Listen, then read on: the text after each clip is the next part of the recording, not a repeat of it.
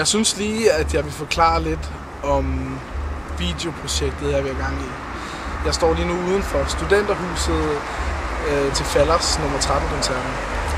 Team Gerate har efterhånden øh, lavet rigtig, rigtig gode håndfulde koncerter. Men vi har aldrig rigtig fået dokumenteret dem ordentligt. Vi har enormt mange gode oplevelser, som folk er gået glip af, men det skal være slut nu.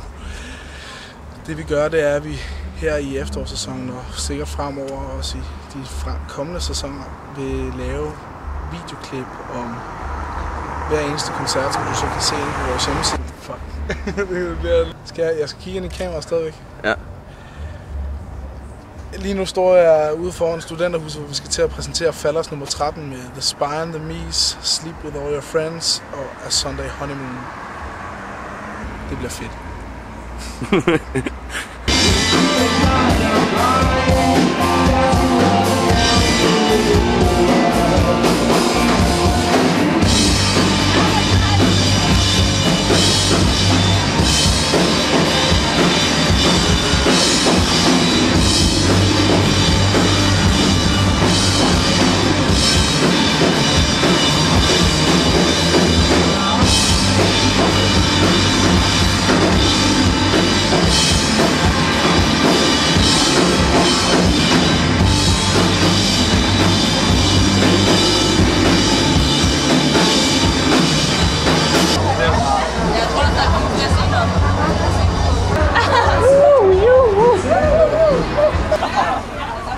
Gracias.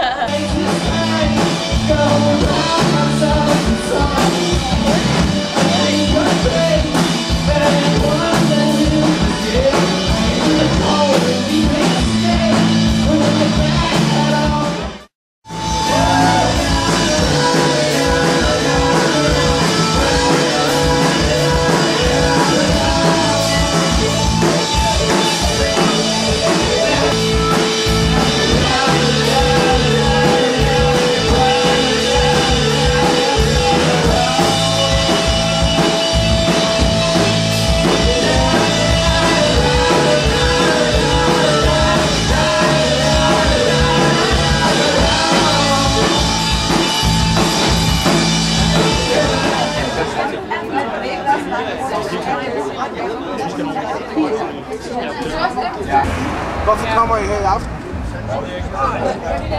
Det er et rigtig godt arrangement. Et uh, udmærket arrangement, faktisk. Har I været til mange koncerter med Team Ja, ja. Undskyld mig. Det er lige der, hvor man står af stationen, og så går man lige rundt. Hej. Hej. Der er altid et gang i. Jamen til det. Der er fotografieren, lecker fühlen.